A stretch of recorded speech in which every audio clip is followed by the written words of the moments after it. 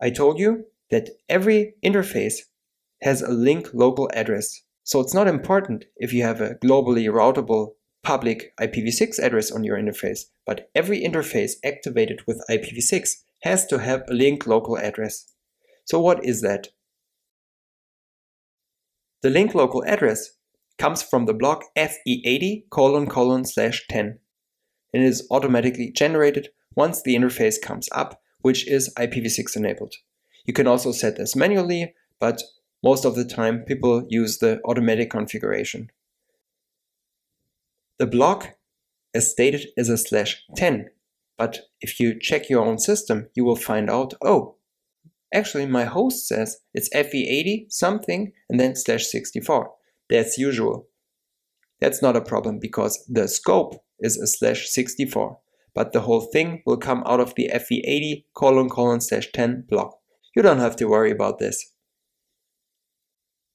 A link local address has to be active on every interface which is IPv6 enabled, so there cannot be a single interface. Even if you have a public IPv6 address, you still also need to have a link local IPv6 address. This address is used for the neighbor discovery protocol and also for DHCPv6. So you really need it because remember, neighbor discovery protocol is like ARP and more. And if you don't have an address, you cannot ARP. You cannot communicate with anybody. So how do you generate a link local address? Your host will first generate an address out of this prefix using a process called EUI64 that I will explain later. Once you have a link local address on your interface, the host will do a duplicate address detection, DAD, by sending a neighbor solicitation to this solicited node multicast address for your specific address. So it will send a message to this multicast address. Hello, I have this address. Does anybody have a MAC address for this address?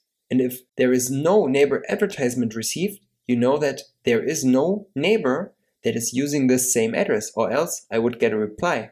So I know my address is usable. And as long as the DAD is not successful, the new address is marked as tentative and it is not used for outgoing connections. And if everything works well, you have generated an address, DAD is fine, your address becomes active. So let's have a look at the details of DAD, duplicate address detection. It is used to make sure that your generated address is unique. It is also used to make sure that your statically configured address is unique. So it is always used once an interface comes up, which has a valid IPv6 address. This is used with the stateless address auto configuration and also with link local addresses. How does duplicate address detection work? First, a neighbor solicitation is sent to the own solicited node multicast address. The source address, because you don't have any address yet, is the unspecified address colon colon. Because, like I told you, you don't know that your address is unique yet, so you will not use it. Secondly, you will wait for a neighbor advertisement in case somebody is already using this address. You will send your neighbor solicitation message. If you receive a neighbor advertisement message, as a response to your neighbor solicitation message, you know that, oh, my address is not unique. I cannot use it and I have to generate a new one somehow. So the target for this NA message is the all nodes multicast group. Everybody will receive this message because the source host does not use the new address yet and it cannot be sent to this address. For the generation of the link local address, I told you that there is a process that's called EUI64. It is the process to generate the 64-bit interface identifier because 64 bits is the link local scope and the rest of the 128 bits of the whole address is 64 and this is called interface identifier.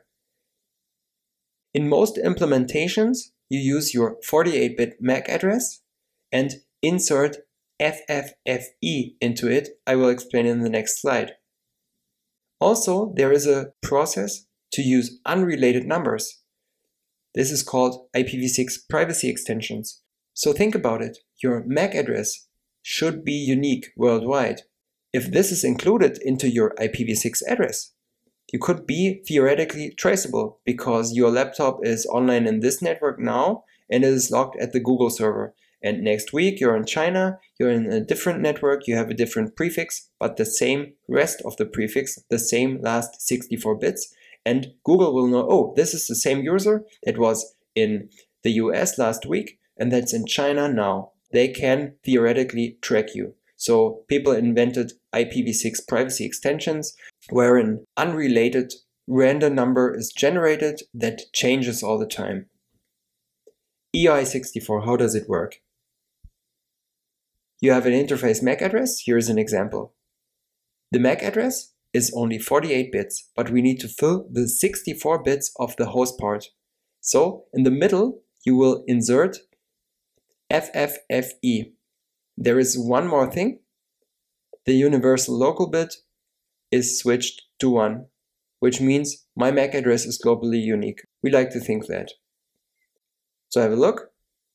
What is your link local address? It starts with FE80, then colon colon, because that's rest of the first 64 bits. Then we have a 2, because of the switched UL bit. And then we have the exact MAC address with FFFE in the middle.